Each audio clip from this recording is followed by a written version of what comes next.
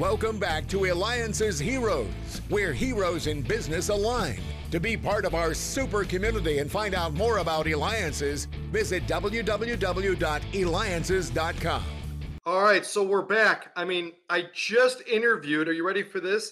The co founder of Constant Contact. So make sure you go to eliances.com. That's E L I A N C S.com to listen to some past interviews, even including when I had the interview with the president and biographer of T. Rowe Price. So make sure you go to eliances.com, the only place where entrepreneurs align. Well, I'm super excited about our next hero. I've known him for many years.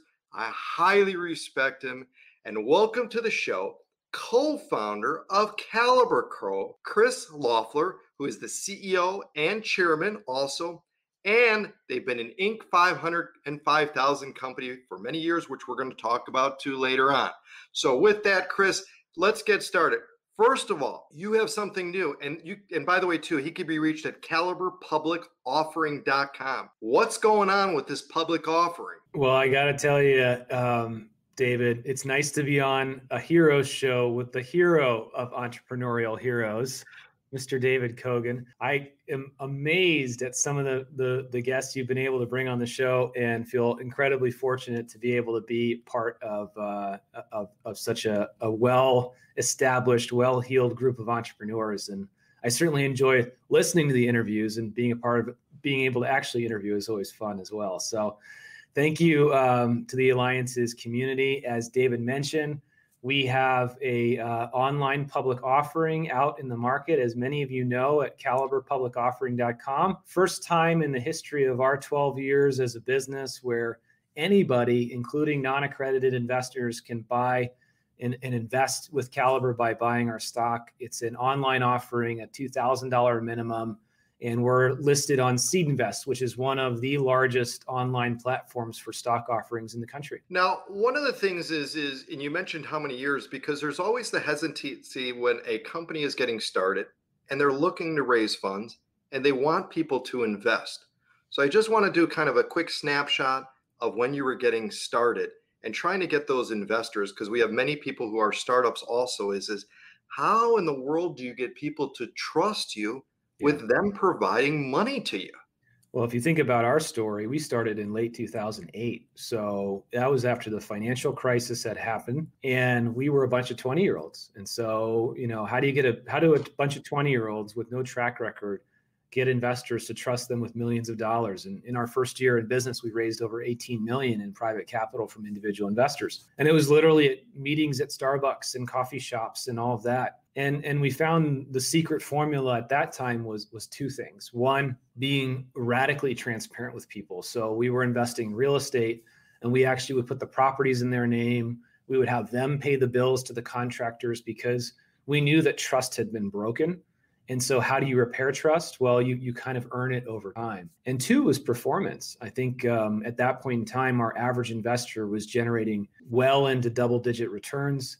They were quick. They were fast transactions. They got to dip their toe in the water, and they got to build trust with us over time.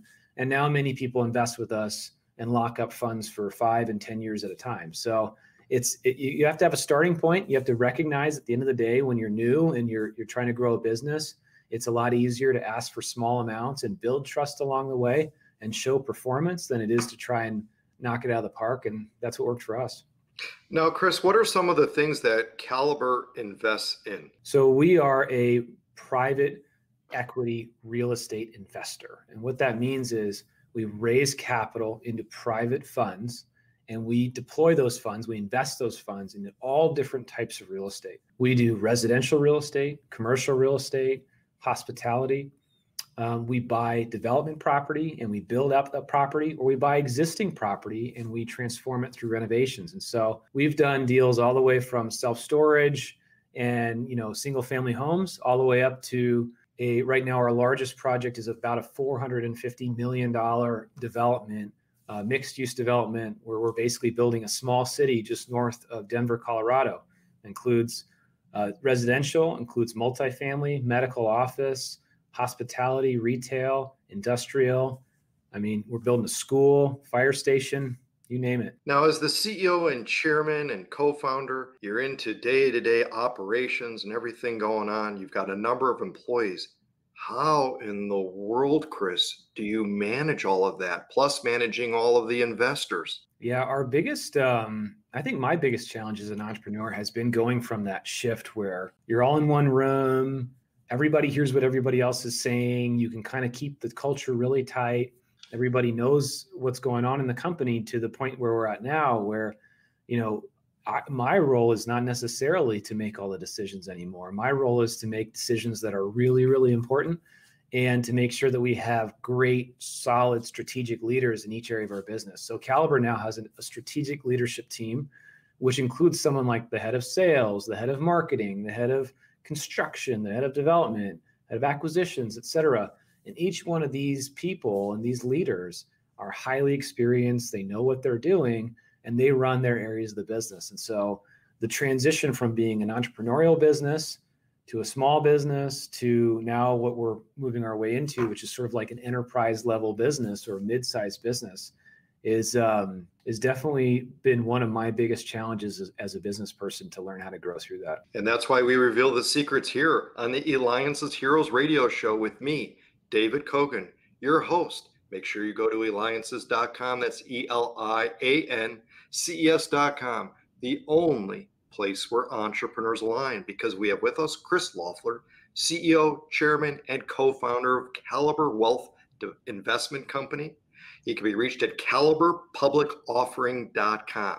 Now, Chris, not only once were you on the Inc. 500 5000, not twice, not three, but six times. How do you make it to six times being on Inc. 500 5000? So there are less, out of all the companies that ever hit the Inc. list, less than 3% ever reach it six times in a row. And we were part of that prestigious list, list, which actually includes some of the biggest and best companies that have ever been created in America. And as an exclusive, today, I have to tell you that we are now seven times. Oh, congratulations!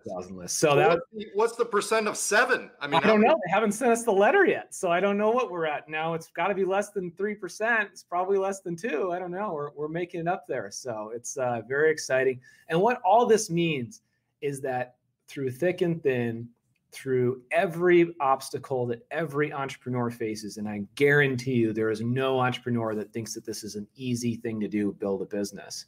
We've been able to continue to grow and continue to grow quickly because it's not that hard to to show big year over year growth when you're small because the percentages you know it's like oh i had a hundred thousand in revenue last year now i have 500000 in revenue well it's 500% growth wow congratulations but when you go from 40 million in revenue to 70 million in revenue. That's a big jump. So those types of things you know to consistently do that over and over again year after year caliber has been very very fortunate to to do that. And um, i commend all the other entrepreneurs who are going to be honored on the inc list this year because whether it's your first time or your seventh time i know how hard uh, you guys are all working. Now chris i know how hard you work and I've uh, you know I've seen your your new facility, a large facility. There's many offices there, and when everybody goes home and you're still there, and you're the only one there, and you're sitting at your desk, and all the other lights are off except in your office, what are you thinking about? Are you here right now?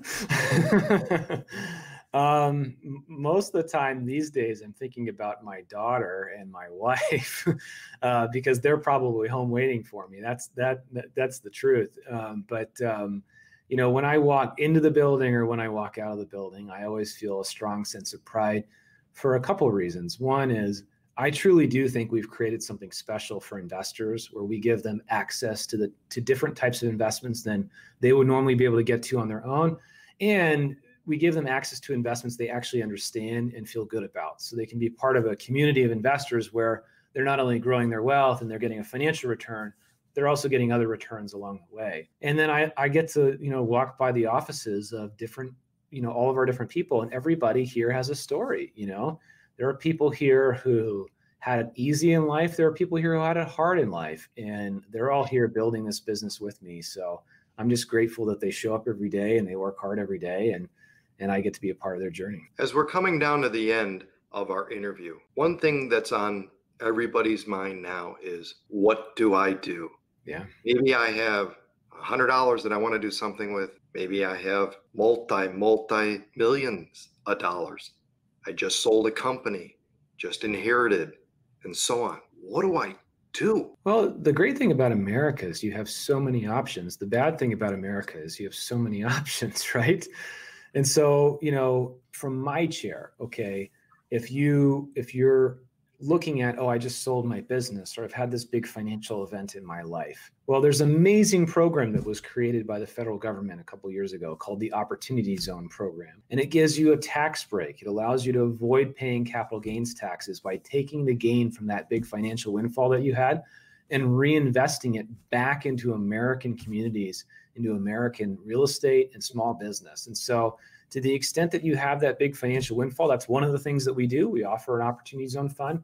I highly recommend you do that because not only are you taking your gain from the prior great economy we just had, you're now using it to buy real estate and businesses at a discount because it's post COVID. Now things are starting to get cheaper again. So you can potentially buy some good projects at a discount and then as you hold it through the next cycle you're going to have a nice upside to your to your investment and hopefully avoid paying some taxes along the way so on one end of the spectrum that's the that's that's that's the best advice i can offer you on the other end of the perspective uh, spectrum if you have a hundred bucks and you're trying to get started i would invest in yourself um, if you have 2000 bucks i'd buy our stock um, but um, you know if you got a hundred bucks i'd invest in yourself because at the end of the day periods of disruption, which we're in right now, we're in a time when people's lives are turned upside down. And you can't empathize with that more than anyone because, you know, my wife's a nurse. I see it every day with her and what she goes through with her patients and what she's dealing with on the front lines of this. We see it with our hotel workers. We see it across the board. People's lives are being turned upside down. But when they do, new opportunity is created. And if you can take a moment, accept the fact that we're in the place that we're in, and that there's nothing that any one of us as an individual person can do to change that, and you start looking for opportunity like a good entrepreneur, you will find it. And when you do, invest in that opportunity, invest in yourself, and and go build that net worth you can then come invest with us. Wise words. Well, Chris, you and Caliber continue to build and find alternative ways for investors to create wealth. That's a hero. Chris Wampler, co founder, CEO, chairman of Caliber Wealth Development Company. Make sure you go to caliberpublicoffering.com. This has been David Cogan with the Alliance of Heroes Show. Thank you.